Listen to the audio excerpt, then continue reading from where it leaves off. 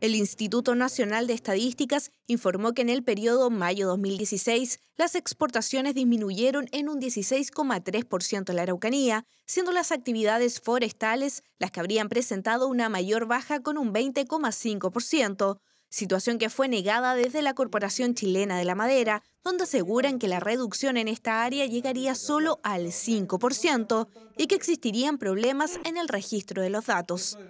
En nuestra región las exportaciones, de acuerdo a los registros que nosotros manejamos, eh, se han mantenido relativamente estables en, lo que, en, los dos productos principales de nuestra región, que son la celulosa y, eh, y los tableros. Eh, pero nosotros tenemos hace tiempo en esta región un problema de registros. Hay muchas exportaciones de nuestra región que están saliendo registradas por la octava región. Estas cifras, que en el informe pasado también presentaron diferencias, estarían vinculadas a errores en la información que recibe el INE de los organismos encargados de dar a conocer los datos de exportaciones en la Araucanía.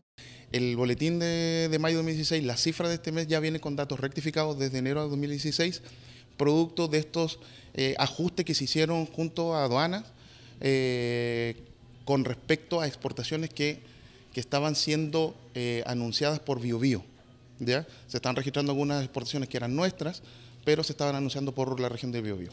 Una situación que desde Corma esperan se solucione y así las cifras reales de exportación en el área forestal sean presentadas a través de una denominación de origen. Cuando empezamos a ver las exportaciones de ProChile, que hablaban que la región exportaba del orden de 30 millones de dólares al año en tablero y nosotros nuestras cifras eran de 180. Entonces, bueno, ¿qué, pasaba con los otros 150 millones? Y además hay muchas empresas que venden a través de otros. Entonces yo puedo producir mis trozos o, o, mis tableros aquí, pero los exporto vía otra empresa que tiene sede y registro tributario en, en la octava región y aparecen registrados por allá.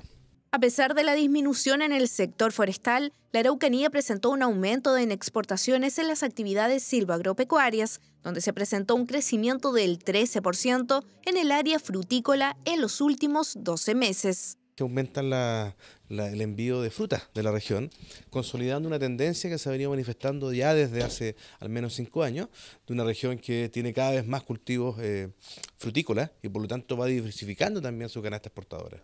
Un alza que fue presentado en este informe, que nuevamente no estuvo exento de polémicas, ya que aún existirían incongruencias entre los datos presentados por el INE y los que posee Corma, situación que estaría asociada a los registros de exportaciones, los que estarían beneficiando a la región del Bío Bío y no mostrarían la situación real de la Araucanía.